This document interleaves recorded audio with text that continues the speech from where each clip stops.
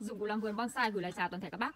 À, qua một cái video ngắn hôm nay thì em sẽ đăng tải lên cho các bác cái bộ kéo ở trong video và đầu, đầu video này thì em sẽ giới thiệu các bác cái bộ mà em đang ờ, giảm giá khuyến mại rất chi là sâu dành tặng trên các bác nhà mình quan tâm tới sản phẩm và làm bonsai cây cảnh trên mọi miền tổ quốc.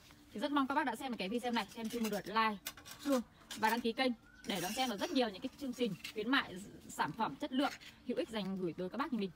À, đầu tiên thì em sẽ chi tiết về cái bộ kéo này. Bộ kéo này thì sẽ gồm có 3 sản phẩm trong video hôm nay. Đầu tiên thì đây sẽ là một cây kéo à, mang chữ Japan ở trên phần lưỡi các bạn này.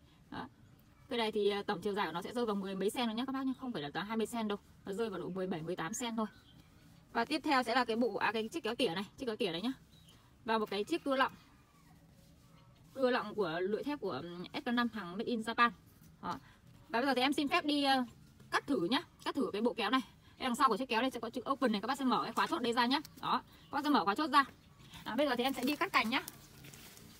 Em sẽ đi cắt cành để các bác mình ờ, biết được xem nó có sắc bén hay không này. Đây cành bưởi nhà em này. Rất chi là sắc bén luôn.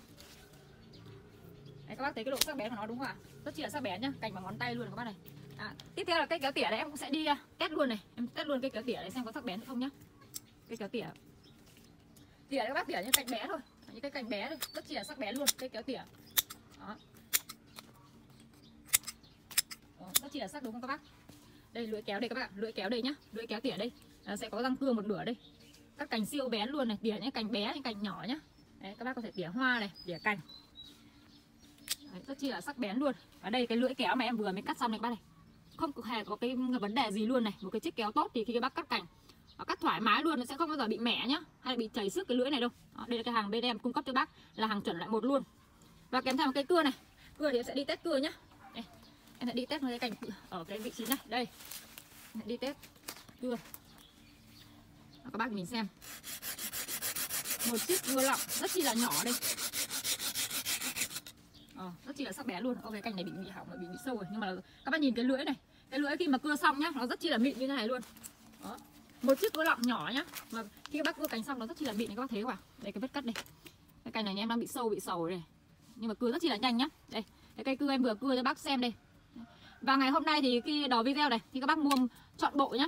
Chọn bộ sẽ gồm ba sản phẩm này.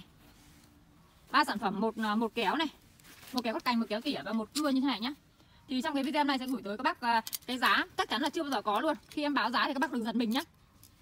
Video này khi các bác mua chọn bộ cái bộ mà em vừa test xong đây, sẽ gửi tới các bác cái giá trong video hôm nay sẽ là 150k các bác à, kèm theo một cái sản phẩm gì đó, ví như một chiếc rũa này một chiếc rũa cưa, em sẽ bao phí ship vận chuyển các bác. Đó. và tiếp theo thì sẽ giới thiệu các bác cái dòng cưa nhật. Cưa nhật thì em em sẽ về chọn bộ là ba kích thước nhá. Kích thước 27 này 27 này 30 này 35 cm chọn bộ cưa nhật.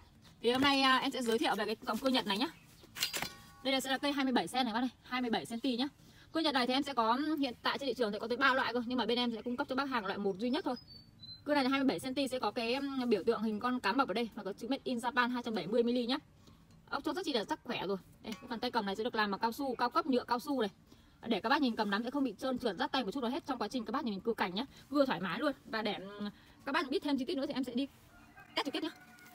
Em đi test trực tiếp vào cái cành. Cái cành này, đây.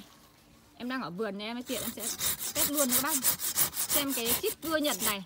Đó, wow.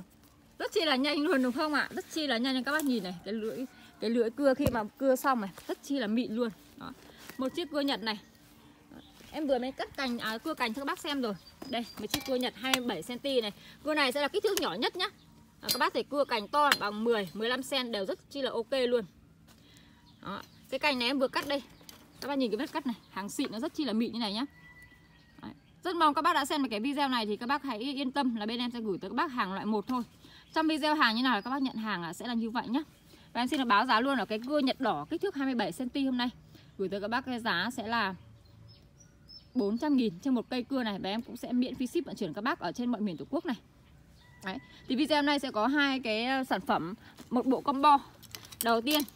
Khi các bác mua cái bộ đầu tiên này em sẽ gửi tới các bác cái giá sẽ là 150k và các bác mua một bộ thì các bác sẽ phải mất tiền phí ship nhé. Kèm theo một sản phẩm nào đó thì em sẽ bao cước vận chuyển các bác. À, quan tâm tới sản phẩm và muốn mua thêm nhiều sản phẩm khác nữa thì các bác cho em xin một like một chuông và đăng ký kênh để đón xem được rất nhiều những cái sản phẩm hay chất lượng em gửi tới các bác. À, xin phép là tạm dừng một cái video ngắn tại đây. Rất cảm ơn các bác đã quan tâm và theo dõi hết video của em.